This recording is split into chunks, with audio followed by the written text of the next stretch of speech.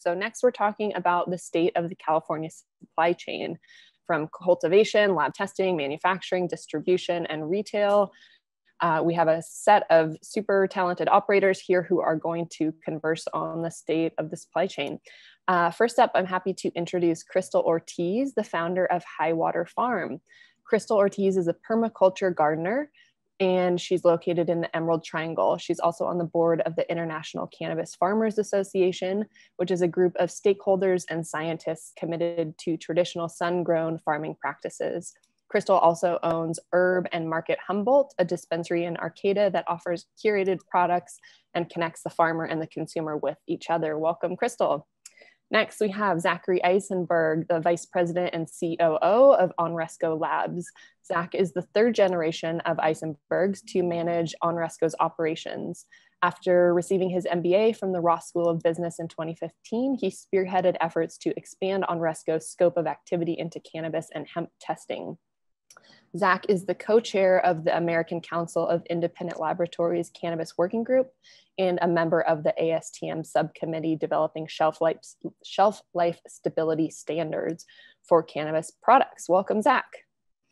Next, we have Brian Dewey, the VP of Sales from Kiva Confections, um, where he, which is a full service sales and distribution company um, and an industry leading supplier. Uh, Brian has more than 20 years of sales and distribution experience in cannabis and craft beer and is a proven leader with experience building sales and logistics teams, key account strategy, developing brand strategy and development, and he is an elected board member of the Cannabis Distribution Association. Welcome, Brian.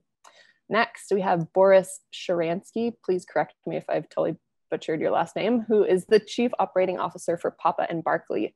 Um, he co-founded Papa and Barkley in 2016 and heads cannabis sourcing, production, and distribution for Papa and Barkley's Papa and Barkley's Relief line of wellness products and Papa's Selects Select Living Extracts. Boris is also a founding member of the California Hemp Council and previously served on the board of the California Cannabis Distribution Association. Welcome, Boris.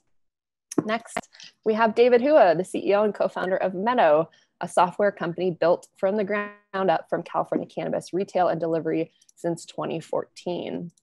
Hua has partnered with dispensaries and delivery services of all sizes throughout California, utilizing technology to maintain compliance with state and local regulations, scale with the adult use market, and create operational efficiencies that allow businesses to thrive. He's also collaborated with California's cannabis community, such as you all, and regulators to draft, implement, and provide stakeholder feedback of medicinal and adult use regulations. Hua sits on the board of the CCIA and the CBA and has also served on the NCIA retail committee. What's up, Hua? And finally, this conversation will be moderated by Jennifer Gallerani, the Director of Compliance at Blackbird, which is a software and operations company servicing each touch point in the cannabis supply chain. She joined Blackbird after 11 years of working with project delivery teams for high profile transportation infrastructure improvements, obtaining environmental clearance under state and federal law. Jennifer's knowledge of laws and regulations pertaining to cannabis compliance allows her to be particularly effective in strategizing the most efficient approach to approvals involving local, state, and federal agencies. She leads several industry wide initiatives directly with the BCC through her board position with CDA, particularly with issues related to track and trace systems. Uh, welcome, everybody. Uh, Jennifer, I hand it over to you. Let's do this. Thank you. I'm super excited to be here, and um, I want to congratulate Meadow for having so many people attending on a Saturday. This is really impressive. Um, I'm excited to be on this panel because you've put together um, a completely diverse operator set here so we can get all the different perspectives of where the current supply chain challenges and opportunities lie. And I'm going to just jump right in asking everyone around the table, if we look at the last year, um, what are the key challenges with your supply chain partners and the movement of product licenses? And I'd like to sort of extract out the world ending in the last six months. So, extracting out COVID challenges, extracting out fires in California, and just thinking about what the regulatory setting was in the past year can you tell me what the key challenges were during that time to move product in California? Uh, the last six months, um, it's a little difficult for me to answer that question that clearly simply because my farm has been licensed now coming on. This is its third fully licensed state season. And so a lot of the real hard logistics um, we have kind of dealt with at my farm side. Um, and I have transitioned into the retail side a lot. I would say that's been a lot more relevant in this last six months. And extracting the COVID part is um, extra difficult because that's what's like fresh and light on my mind right now are just the like immediate challenges that I'm dealing with. But I would say like if I were to pare down the last the first six months of 2020 or the last three of 2019 and the first three of 2020, what were the hardest logistics coming through the 2019 harvest season? Um, from a farmer's perspective at High Water Farm, I would say feeling really unsupported in getting payment through cannabis products that has gone through distribution. And so whether it be for manufacturing or whether it go to farmer or to retail, um, it's a really difficult and really lonely road trying to um, track down those payments and track down the money and keep everything on top and make sure that it comes in in a timely way. I would say, mainly just because most of my logistics around the permit process and the state regulating agencies and all of that has been mostly, hopefully, mostly done with. I did have a few things come up, but mostly good. Great. And then with, let's just go ahead and tack on now the ending of the world. Would you say, um, has COVID and the fires exacerbated those challenges, or do you feel like there are new ones presented under um, COVID and the fires? Yeah, I mean, from the farmer pers- from the farm perspective, my farm is uniquely situated because we're in the Eel River floodplain, flanked by old growth redwoods and a non-burning forest, and the river ocean air comes up. So our air quality has been pretty good on the farm in general, but my farm community has been really suffering. My immediate family lost property. My sister and her husband lost their home and farm and that's been really heavy and every day even this morning we're, we're negotiating getting fire equipment out to people and you know wondering should they harvest early is the fire going to come is it not going to come all of that's been really difficult um, i think every year there's this California, we have fire season now. And every year there's this idea that, oh, the fires are really going to impact the prices of the California marketplace. And I don't know how much I believe that to be true. I think that there's a lot of cannabis coming into the regulated market. There's a lot of farmers that are getting their stuff together and really understanding the scale that they're working at. And a lot of the costs are understood and fixed at this point. And so I feel like while it is doom and gloom and the COVID is doom and gloom and you know the planet and climate change and all this stuff is really doom and gloom, um, from a farmer's perspective, there's always um, reason to hope for the next thing and, and the next season and to start fresh and we'll start fresh again and we'll figure this out you know whether it's a new you know um, election whether it's a new planting season you know whatever. I do anticipate that there's going to be a huge uh, impact to the market in some way from the fires um, whether it be smoke damage and a lot more cannabis goes to manufacturing or whether the price we do see the prices holding um, but i do believe that most of the prices that are holding stable kind of in the farm world where they are are mostly just because people are understanding and knowing their costs and including them in the process down the supply chain. Great. Thank you. And so how have you adjusted your operations? And one you know give one example of adjusting your operations to overcome some of those challenges? You mentioned discussing early harvesting. Are there other means that you've overcome some of those challenges in the last few months?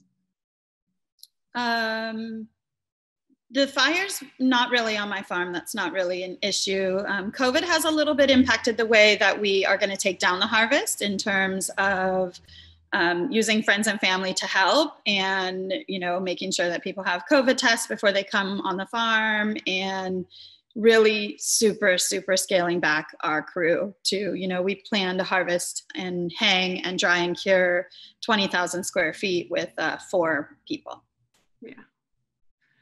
And then uh, moving on then to zachary same question to you. So over the past year, if you were to extract out the most recent challenges with COVID and fires and just look at where you were at pre quarter one, what would you say the key challenges were? And then adding in COVID and fires, exacerbating those, how have you adjusted your operations to overcome that? Um, uh, it's really hard to uh, kind of compartmentalize COVID as opposed to other operational challenges because I think it's permeated into every aspect of our business. Um, we're not physically moving product or selling it. We are supporting existing supply chains, so we're really at the mercy of the health of those supply chains. And Anresco operates in both the food and cannabis space. And so while some of our customers have done well and maybe have even grown during this period of time, there's other ones that, you know, they were selling into, you know, stores or, or supermarkets or elsewhere that have just completely closed and and so their their business is completely dried up and that's challenging for us being able to project you know how many analysts we need and, and how much instrumentation we require and so forth.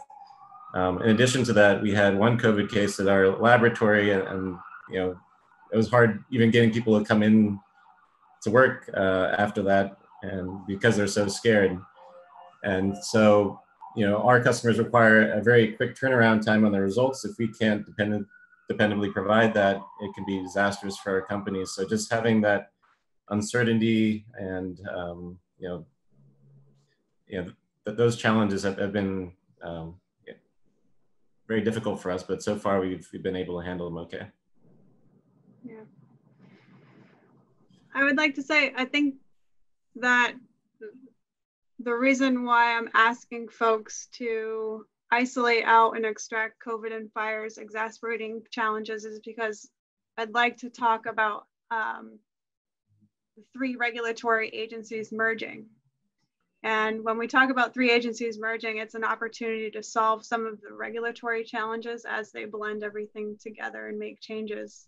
And so, um, in thinking about COVID and how we respond to COVID and adjust operations to COVID and fires.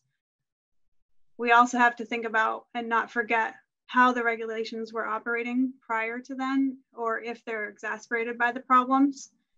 Um, and my next question, maybe Brian, if you want to answer this one, is thinking about your challenges and, and your key um, operations and how you've had to overcome those challenges. What are you most hoping to see in those blended regulations?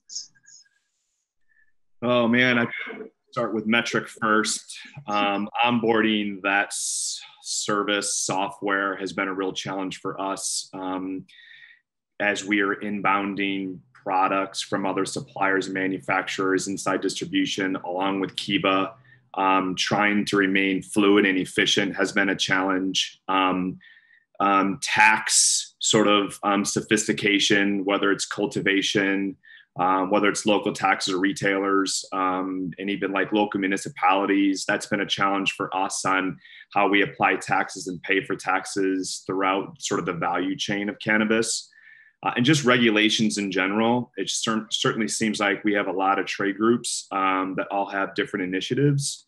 And it'd be nice if sort of these trade groups could sort of form an alliance and lean into two to three initiatives per period or per quarter.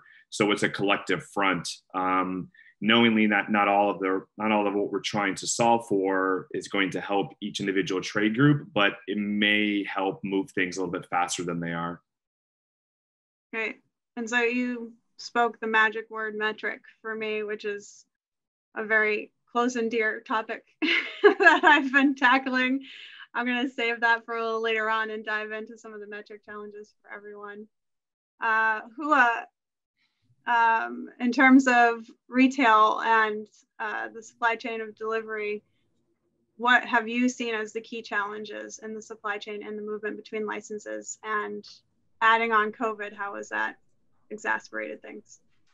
Sure. Um, well, I think you can kind of divide up into like pre-essential, after essential. Um, having essential designation was huge for us, and that's been echoed a lot over the last couple days with a lot of people. And um, you know, I felt like everything has been just constant headwind after headwind after headwind. And I think the essential designation sort of abated a little bit of that and gave us a bit of a boost. Um, you know, I think so Meadow is in an interesting place. You know, we we are not retail. I just want to make sure that's clear. Um, but we serve retail and delivery operators, around 160 of them across the state. So mom and pop delivery services to some of the biggest dispensaries in the state, just to give you context on, on where this information is coming from.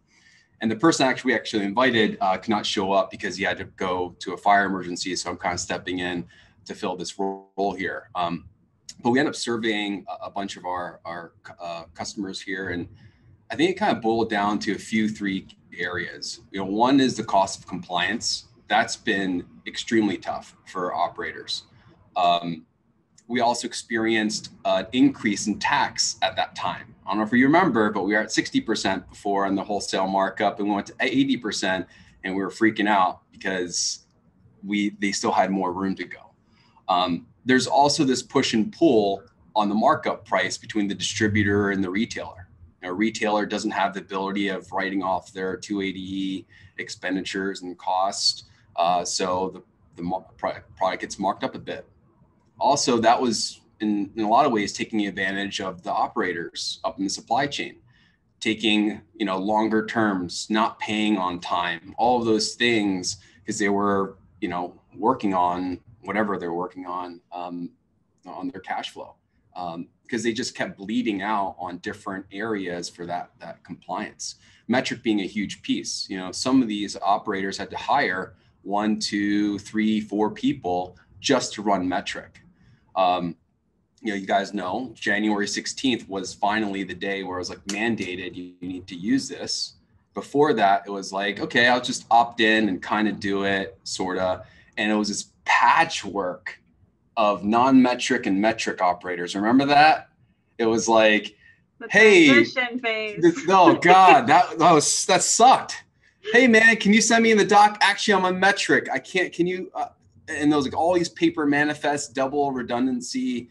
Uh, it was a mess. And then you know, so the efficiency suffered too. So there's the cost of compliance, efficiency, which people were changing their workflows and then I think it was really around like, how do you continue focusing on the customer, right? How do you continue to know who's coming into your door and properly stock the shelves, monitor the inventory, provide that feedback back in the supply chain? Um, you know, we think a lot about how to create more transparency within the marketplace to allow the cultivators and manufacturers, distributors, and work hand in hand so another thing we saw is operators that were siloed um, struggled a bit. Didn't have uh, during the transition uh, to you know, COVID. Um, so kind of shifting gears after essential designation, uh, you started seeing terms dry up, right? Distributors pull terms because product was flying. March 16th, March 17th, that entire chunk, I think all of us are just like, holy moly, it's 420. Mm-hmm. What just happened? Um, so that was another boost. And then we had a whole month of 420. Everyone was home.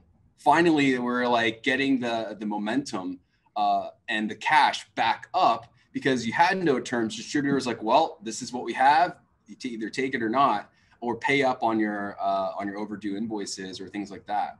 So people that had really good relationships kept those supply chains and then people that had shifted their their uh, retail operations also did well. So uh, you saw around 25% of the sales that used to be in retail, they just had a storefront, shift to online e-commerce.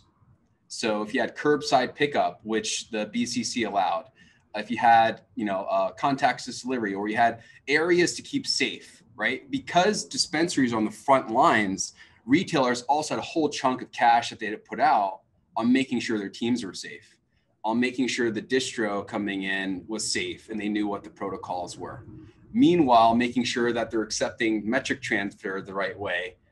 Meanwhile, you know, reporting the taxes the right way, all of these things. So um, those are just some of the examples that they had to, to switch and, and move in from a pre-COVID or pre-essential to post-essential state. Definitely. And then Boris, is there anything folks haven't said so far that apply to your operations in terms of what have been the biggest challenges in this past year? Yeah, I would say, you know, first of all, it's awesome to see everybody in this COVID world. I haven't seen so many of you. Chrystal, I think I actually drove by you in Arcata the other day and I was like, I think that's Chrystal. Now I definitely know it was you because I, I, see your hair. Um, but, uh, you know, people have touched on most things, so I don't want to belabor any points. But what I didn't really hear is, you know, we work from two sides and we sort of throw everything through our branded products. So I don't have a lot of the direct challenges that a lot of distributors have working with multiple manufacturers. Um, but I would say I have two perspectives. I have sort of the P&B perspective um, for most of our relief line. You know, the farms, like Chrystal said, they know their prices, they know their customers, relationships have been built. Uh, what I have seen from the farmer side is those that are trying to get their top flower to market um, get held up in distribution. Um, you know, up here in the Emerald Triangle, we've had many distributors either fail or not work through and farm. I mean, I was at Sunrise; they lost fifty thousand dollars in product um, this year. You know, um, and in receipts because of that. So uh, another problem I'm seeing is just because of how regular regulations have been structured, product quality is down, right? And we're competing with all our taxes against a, a traditional market where quality may even be. I mean, I know it's tested here, but quality from the flower perspective, if you look as a as a heady, is better right? Because it's not in a jar for seven months and we haven't all figured out jar stability. So when I look at the flower market and sourcing as it applies there, it's not something I'm in. And it's the reason why we're not in it is because guaranteeing that quality, especially with someone that's opening eight month old flower, I think is a big problem. It's one of the biggest regulatory hurdles that that farms that want to get branded flower out, out on the market are going to face. And it's what's forcing them at a lower price range to go out there and wholesale bulk flower, which is also a great business model. But um, I do see that as being a, a big problem from the farmer's perspective. Uh, from the extract perspective in live resin, you know, that is also an issue, you know, because there's two harvest seasons up here. From our perspective, we're really looking at how do you manage the cash flow?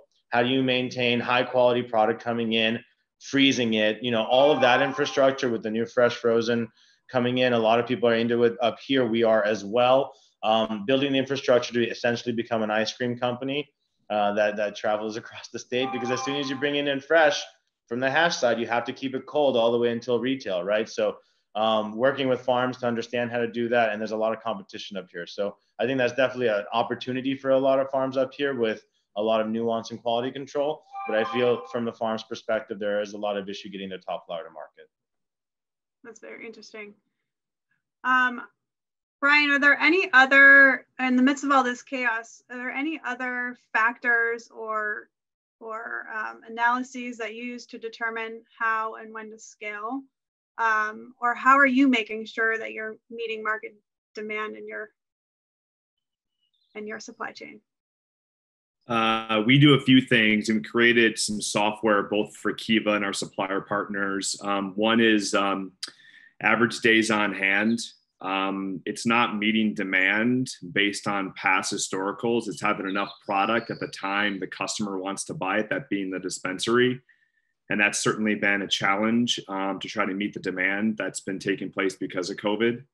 Um, the next one is just fill rate. Um, so all of our suppliers plus KSS establishes a fill rate metric that when an order is placed, we're able to fill it at least they range from 95 to 98% of the time.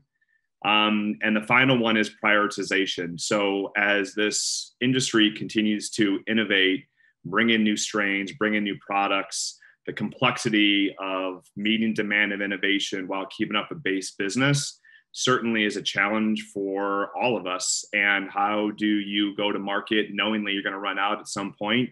You have to prioritize those products, and there has to be a collective effort to do that.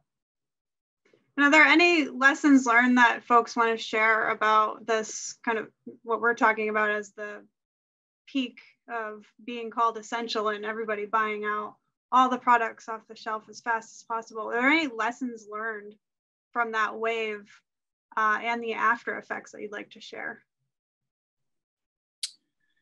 Yeah, I think I think lessons learned for us was just um, uh, is having your base business protected at all time, and um, if you can foresee any challenges upstream for actives or raw materials, is that you pivot the business and support your products and portfolio um, while you wait for those to come in.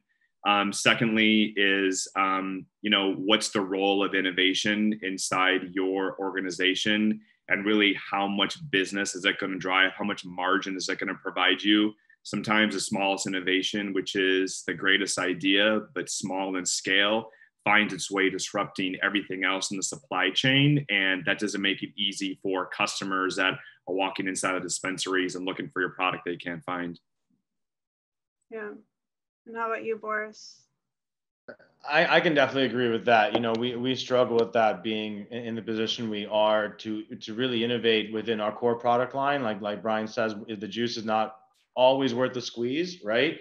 Um, and especially when you're at the point where you're trying to meet the market, there are the challenges of COVID. We haven't had too many issues with dealing with the distribution side, but we're, we're lucky we distribute ourselves. So we've done that for a while and, and we feel there's a lot of value, especially in today's world for that, because a lot of the Metrc problems I hear about, yes, we've had them, but because we have an integrated system from from the time we bring in our cannabis raw material, um, from then until it reaches the dispensary shelf, it's all within our distribution system. So it's a lot easier for us. Um, so I don't have challenges there. But on the innovation side, when you're trying to meet the pro- meet the market demand, and the shift to digital definitely hurt us on the retail side. But from the sourcing side, you know, we've been doing this for a few years, right? And so the, the relationships you build with farms uh, and and and and the ongoing you know supply chain there. Uh, we've been able to manage that pretty well. I, I, think the inventory side as you scale you have to make sure that you're not overbuying inventory holding too much on your balance sheet and you know working through that as a working process.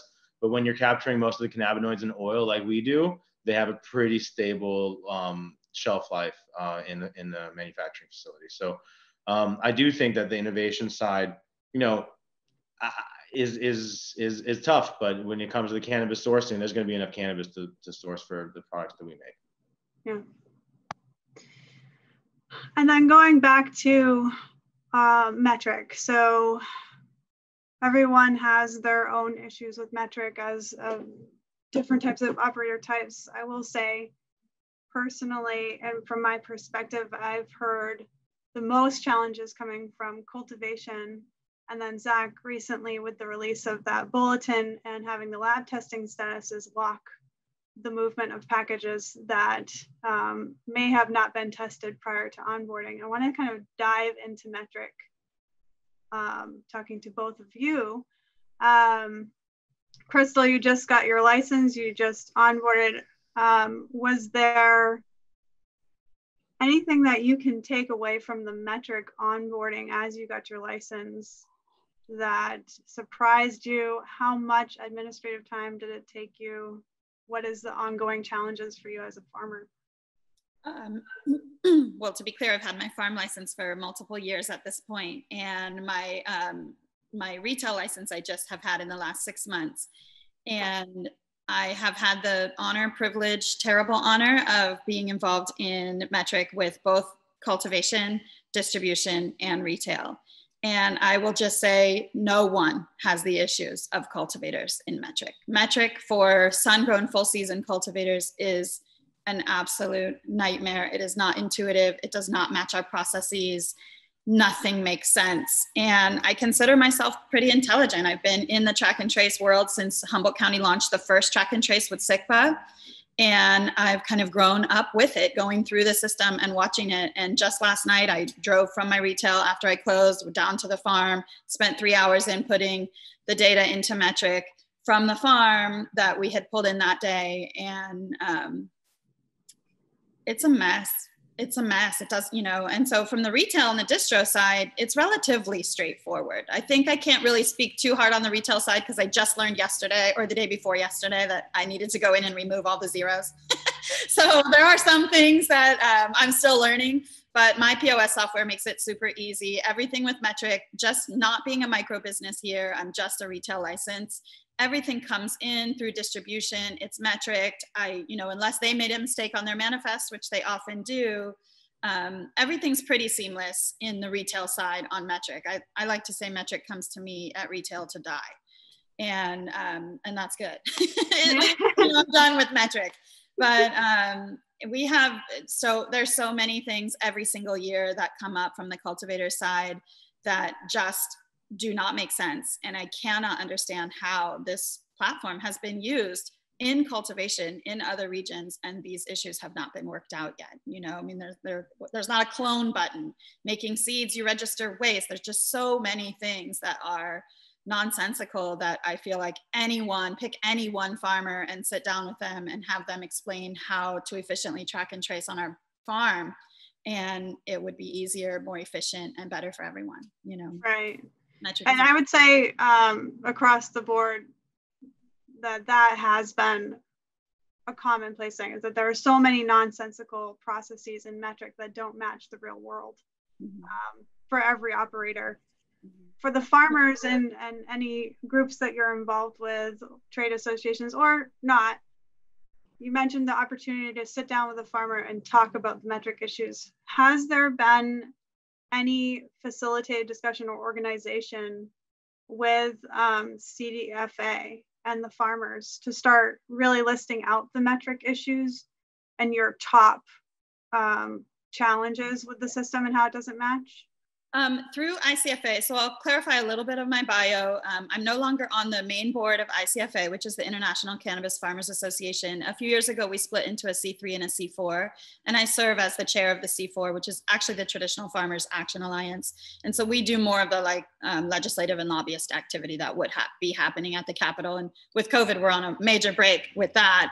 For the most part, you know, we just had the big win with SB 67 and some stuff along that line. But um, through ICFA's work, I mean, we, we hone in very specifically on sun grown cultivation.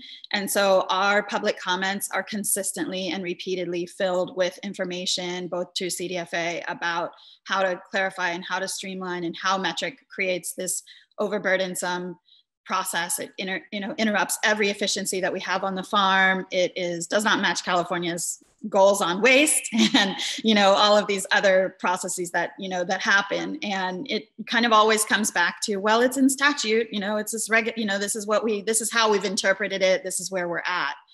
And um, you know i i do think that there's a willingness to um, to see how we could modify it or make it fit or make it work from the regulating bodies. But I feel like there's um, not the creativity or the desire to make it work. And um, I think that the cultivators in particular are the least organized and the least advocated for just because they're so underfunded typically like the small you know regional farmers that we have and they don't understand government they haven't really been in that role in that heavy way before. And so um, the trade associations kind of all end up being multi-representative of so many different things that it's hard for them to hone in really clearly on these very specific issues that cultivators have. Um, I do think, I mean, and then COVID, we have to admit and accept that COVID has really affected our ability to create change. I mean, most of the things the states like, we don't have time to deal with this. We don't have public comment. We don't have, you know, there's all these things that are just um, not really functioning well at the government level because of COVID. And the season just came and went. And so here we are now where, you know, I have some plants that hermaphrodited from the inside that I didn't recognize or notice. And now I have these seeded plants from top to bottom that I'm working on. How do I now later tag this plant that has seeds that aren't really functional seeds? But it just it's nightmarish you know and um, and it's not efficient. And it's a really big burden for the farmers. And right now we haven't seen a lot of enforcement on it but i feel like um, this next step in the process we're going to be in a really um, terrible position with the cultivators if they don't get some sort of relief or support on simplifying that process for them so that they can just put the you know the, the material in and, and extract what they've got you know? Yeah. and then testing you know i work with Anresco too and some other labs and um, the smaller farmers are way overburdened by the testing um, situation. And if you happen to grow from seed the testing is a huge block and a huge block to market for yourself and your products. And um, and the Metrc and the testing together can create some of the biggest um, problems that we have as farmers. And then the other person who was speaking earlier, maybe it was Boris, about the um, farmers need to like offload everything at wholesale early in the season and that's because all these costs are up front for us all the harvest costs all the testing costs all the r&d costs all the processing costs all the Metrc integration like everything that we're doing happens in the fall which is also the lowest price in the market and so between security between the plant safety power shortages and frozen material and all of these things um, that November, December window is really brutal on farmers. And if they are given an opportunity to um, push forward and wait for that magic date in March that we know happens, um, it can be better. But Metrc and testing makes that super complicated. Yeah. Do you see the opportunity? Um, I know everyone is, like you said, we're all running around crazy with little time, little little um, affordability of anything extra. But do you see farmers um, willing to perhaps host regulators and bring them out and tour farms and and show them why Metrc doesn't work? Absolutely. Um, there's sort of a wall between the farmers and the regular where that no i mean we've already had the worst regulating agencies on our farms at this point you know fish and wildlife and the water board and um, you know these kind of known enemies have come to your farm and you know put you through the ringer. If there's someone the state regulation body that you feel like is going to hear you or help you um, i think most farmers are open to that conversation with guidance and support of course. I've had uh, cdfa's cal organics program on the farm. I've had um, some people from the BCC on the farm. I open my farm to regulators all the time so that they can look at um, what a real small scale sun grown farm looks like in Humboldt County and kind of show them. And I had this kind of defining moment with a woman from the Cal Organics program where she we were looking through, you know, these eight different phenotypes of this seed varietal that I had. And I had mentioned to her that this was all going to have to go to extraction and why? Well, why was the reason because I couldn't, they were so wildly phenotypically different. I couldn't put them in one bag and sell them as a product and get them tested and get it to market. And so each one of these would have theoretically had to be tested. And some of the plants weren't even a pound. So even at the cheapest, you know, $650, $800 compliance test, even the cannabis wasn't worth the test. And you know, I've been really pushing for um, one of the benefits of the Cal Organic program being that if you get certified organic on your farm, that potentially the testing regulations that are imposed upon you could be different. You know, that maybe there's a spot test for a compliance test, and everything else could just be, you know, um, strain dependent and we could get these small batch smaller units out to market in an affordable and efficient manner and i think that using the cal organic program would be a great vehicle to do that yeah, that'd be awesome. Um, Zach, talking about testing and how it relates um, to your supply chain, what are the challenges that you've seen with Metrc and are there administrative costs that you've seen for the laboratories on your end or um, more, is it more of an educational um, effort and the time put into that? How's, how's Metrc onboarding affected your operations? Yeah, well, the the biggest initial issue, and by, I'm not by no means the Metrc guy at our company, but the biggest issue is that we didn't provide, we weren't provided any guidance on how to operate Metrc from a lab perspective until the end of March. So we're kind of learning as we went. And and in terms of costs, you know, we have a direct integration between our LIMS, which is our laboratory information management software, and Metrc, so we can upload data and we don't have to manually input, you know, 100 data points for each uh, analysis that we perform or each sample that we test. Um, and that's really necessary, but it's also a cost because it, it's a, a, custom development that our, our, software developers had to implement, and we were getting very little support from Metrc on, on how to do that. So there's definitely learnings that occurred along the way. Um, and then in our day-to-day use of Metrc, I'd say the biggest issue that we have is the fact that there seems to be a disconnect between Metrc and the BCC. So, you know, there's a lot of redundancy in the work that we perform. We upload the data points into Metrc, then we have to manually log into Metrc and upload the COA there. Then we have to release the tests, and then we have to go email the BCC separately with the same COA um, so it wastes a lot of time on our end. And God forbid there's some kind of issue on the COA and needs to be amended or there's some other technical issue. We have to get approval from the BCC before we can then go to the Metrc, support team and ask them to help us out. And then the Metrc team, rather than just seeing the email thread and implementing the change, then they have to connect to the BCC and back, you know, privately to make sure that they're on board with the change. And I don't know why they can't all be on the same thread together. But um, you know, uh, people need their results released because you know the difference between a two-day turnaround and three-day turnaround is is huge for some people. So if their product is held up for one or two weeks because Metrc and BCC don't know how to talk to each other, um, that, that's a huge problem for our, our customers. And, and some of them are understanding that's not you know our fault necessarily. Um, but you know other times they're not quite as understanding. So that that proves difficult for us. Definitely, and I have firsthand experience as a distributor tag teaming with the lab and trying to get responses from Metrc and BCC. And on one day being told by BCC, I'm not allowed to ask permission to fix the problem, the lab has to ask. And then the next day being told, well, the distributor has to re-ask the question again. so it's just, yeah, it's a round robin. It's crazy, um, back and forth. How have your, how has your operations um, handled Metrc training specifically, since there is not really a lab focused training for Metrc, nor is there distributor focused training on Metrc at this time? Yeah, I, I, can't say I'm, I'm, directly involved in the training that, that's occurred at the laboratory, but essentially we assign one person to really get to know Metrc and you know all aspects of having to being able to receive uh, samples and packages and being able to re release results. And then that person has gone and, and trained probably four or five other people, so we have redundancy in case someone's sick or, or unavailable. Um, and then beyond that, you know, our, our developers have uh, you know, they know how to con contact the Metrc support team if there's any technical issues. So they they handle that, and we we kind of divorce ourselves from that portion of of the conversation. So you know, it, it's it's definitely not as uh, organized as we would like it to be, but that's just kind of um, what how we were forced to operate. Yeah.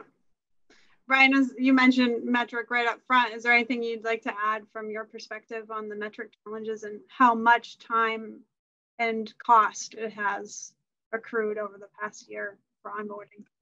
It's the most costly part of our business because it requires um, people to manage Metrc inside our organization. Um, it's not automated. Our ERP system and Metrc don't communicate well. When we believe we've made some progress, we find it's either manual entry or a couple of zeros were omitted, like Chrystal mentioned earlier. Um, and for us, trying uh, not every system who was probably an expert in this, but expecting each ERP to take the Metrc ID that was established at cultivation and bring it all the way through to retailers just isn't an option. So we are recreating the exact same item in each of our systems all the way through.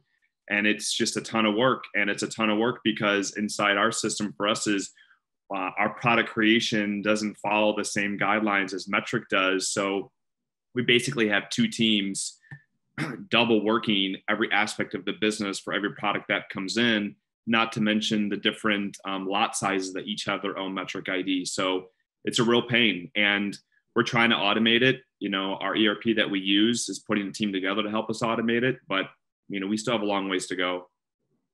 Yeah. I don't know if Hua you want to touch on the software side and how that integrates with Metrc and the challenges there.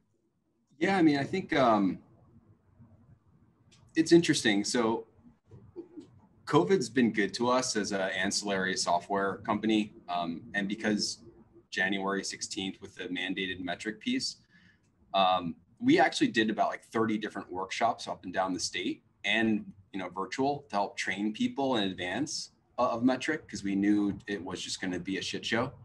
Um, so things that we're seeing from switchovers inventory accuracy is probably the number one issue. So what we're seeing is people are doing edits within Metrc or doing edits within point of sale and then manually uploading or downloading reports to sync them up. And there's also been issues with Metrc's reliability. And during some specific downtimes, if things aren't done right, some things may go through, some things that don't. So we often can go into a, a, retail shop, switch them over, and say, "Hey, we can't switch you over until you actually fix your Metrc. Here's how to do that." You have all these packages that haven't been finished. You have all the you have negative inventory above your three percent variance rate that you're allowed on a wholesale monthly basis because you didn't bring in the right packages because your sample package is actually at the retail or wholesale price and you didn't separate that out so all of these little nuances really screwed uh, some of these operators that didn't uh, understand the, the, the complexities there. So inventory is probably number one. Um, the the second piece is really, you know, I, I think for a retailer at least, this omni-channel sales philosophy now, right? It's no longer just the retailer um, in front of a customer. It is everything they need to have accurate inventory on these different live menus that they have on their respective menu. They need to be able to communicate all this information accurately.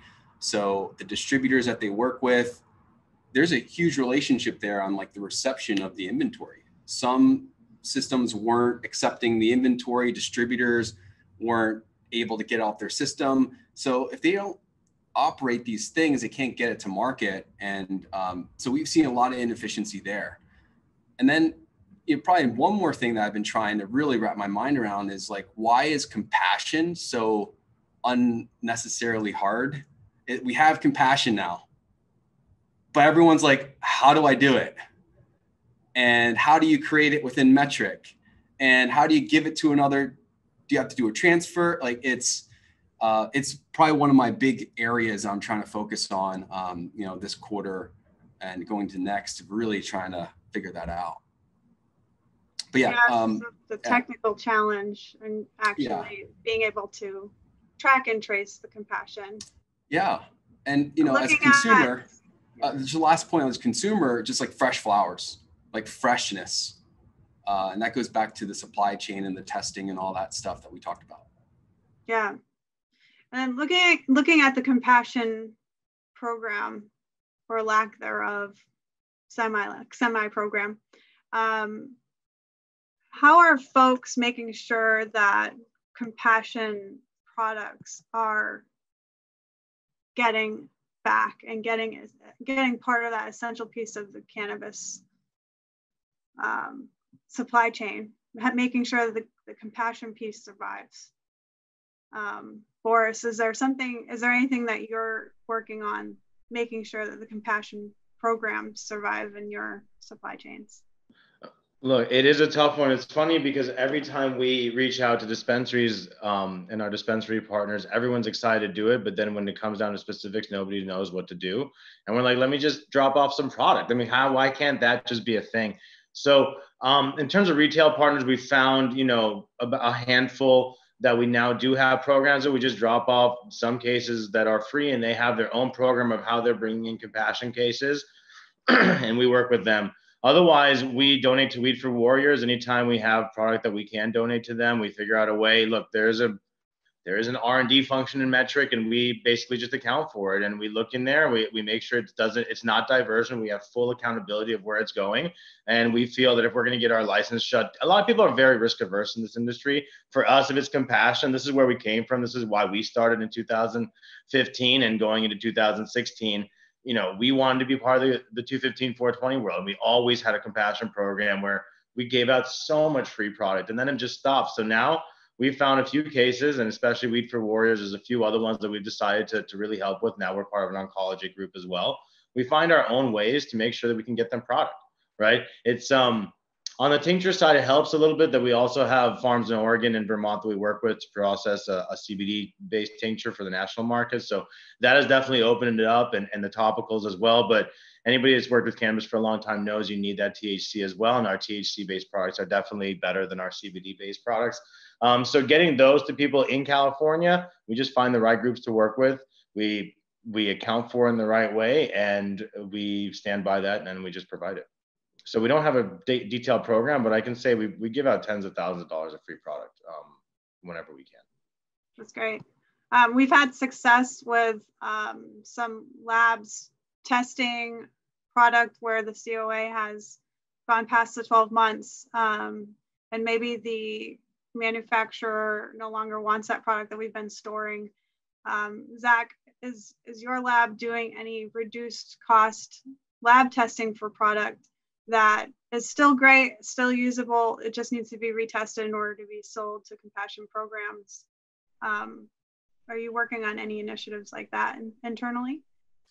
Yeah, I'd say we don't have any ongoing initiatives, but when people do come to us, uh, we have provided actually free testing on compassion uh, products in the past, and perhaps we just need to publicize the fact that we're willing to, to do that. So I think we were working with Sweet Collective on some product that they were planning on donating, and so we we're very open to to supporting compassion, um, and perhaps we just need more people that are willing to that that know that we're we're open to that and, and willing to work with them on it. Yeah, absolutely. Get that word out there. For sure. Um, Chrystal, are there compassion programs in the in the farmers and in the retail side that you're familiar with on your end that you're working with? Oops, I think you're on mute. There we go. Um, yeah, so I mean, farmers are the reason why there is still compassion. Farmers are still doing it and have been doing it, and they're finding a way through their R and D, through their waste, through you know some way. Um, uh, compassion is at the kind of for you know it's a foundation, as Boris said, for farmers in particular.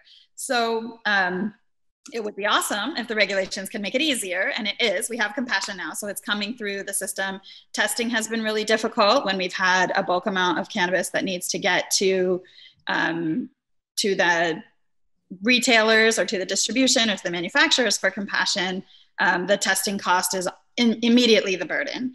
And then, so the next thing, like working with Joe and some others, even through Sean and Weed for Warriors and those guys, they all just wanted tested product already, packaged and tested product already. From the retail side, um, the reason why the compassion programs have proven more difficult. I was really involved in a lot of compassion programs through the 215 era, through all of the early 2000s.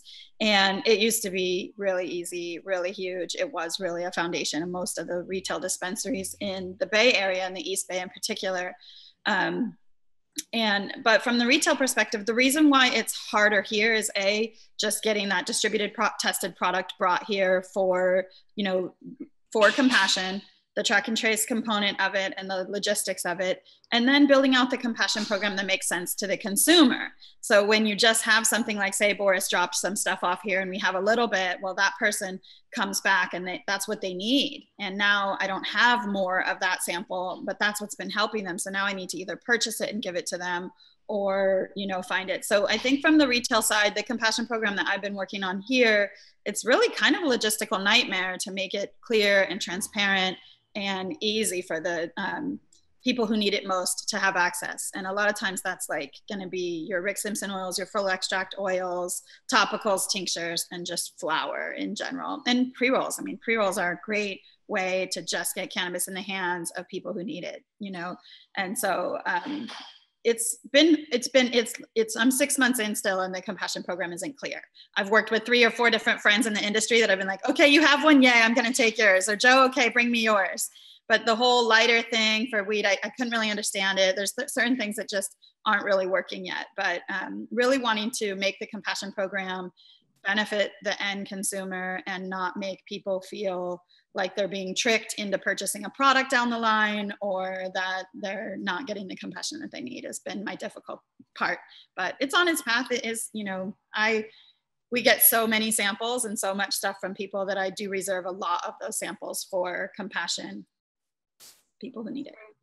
That's great. And then brian are there any other compassion programs that you're working with right now that you want to give a shout out to we extend our compassion along through um, all of our partners, and all of our partners have their own unique retailers that they ship product to. So we're happy to provide those in their behalf. Um, Kiva works um, locally in Oakland with different um, compassion, uh, compassion outreach programs. Uh, but it's pretty fluid to us. Um, we want to make sure that we're filling um, their demand and also helping them um, just share out some of our product for them so they can use it for all their compassion needs. Okay. Yeah, and then from from our side, we have um, Sweet Leaf Joe. Uh, so we we power their, you know, we basically power the HIPAA compliant documentation for for them as well as um, Operation EVAC. And you know we're working on. Uh, there's actually a panel coming up this weekend with uh, uh, Sarah from Apothecarium as well to to talk about compassion and how to do it. So you know I think all of us have just been so heads down with COVID. Um, when compassion did pass, now it's like okay, we, this is still really, really, really important to all of us um, that we're going to be spending more time on it. I'd love to sync up with everyone on making this a standard, easy, no brainer thing to do um, and just remove all the friction out of it. Absolutely. So we're at the noon mark. I'm not sure if we're ready to move to the next panel or we want to do one more. Maybe we'll just do one closeout for everybody and then we'll shift to the next panel. All right.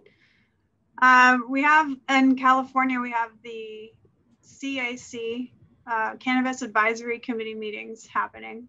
We've discussed a lot of challenges um, and a lot of issues that we're trying to overcome. If there was one unified message and one challenge that you think all operator types could get behind and provide one message to the CAC, which topic would that be? And which initiative would that be to correct the regulations at this time? And I'll just start from Chrystal. Um, I would just say clear in this conversation that Metrc doesn't work for the California marketplace in the way that it's written now. Okay. And Zach? Well, I guess if we're looking for a unified message, then I think the, the commonality that we all share is our, our uh, our issues with metrics. that, that seems to be the low hanging fruit. Um, yes, let, us just go with that. Metrc, okay. Brian? Access. There just isn't enough access for people to purchase cannabis in a state this size, and the bottleneck of approving licenses needs to improve. And then Boris uh, guys, I'm a broken record on this if you've ever talked to me, but taxes. We are overtaxed in this industry. And as long as we are 40 or 50% more expensive than the traditional market, we will not gain those customers and we will be a horrible failure of a model. It doesn't work. It just from cultivation tax to how it's booked to excise tax to half the dispensaries not even applying it correctly. I'm I, taxes are the number one issue in the California regulated market. And David, what would be your? Yeah, for me, it's you know everyone's been great about it, all the points. Uh, equity, it, it's top of mind on so many fronts. I think you know we're witnessing decades in the war on drugs have happened and the, the collateral damage that's there. But now we have this first time in history a program being staged up to help you know push the needle back in the right direction.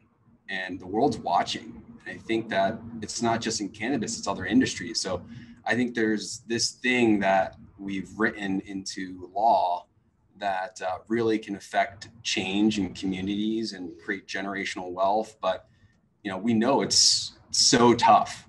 The best of the best struggle. So it's a tall order to come together to create a, a, level playing field but also not just a lottery ticket but people can like really really really thrive. Um, yeah so that, that's top of mind for us. That's great. And i i did appreciate the panel i believe it was yesterday um, or the day before with the different trade associations talking about how all of the trade associations can come together on these topics. I think all of them that everyone just mentioned are honestly equally important. And I'm hoping that through this collaboration, through our conversations, that we can all start to agree with one another that we all have very similar goals here. And we all need to start speaking the same language to the regulators in order to make the change happen.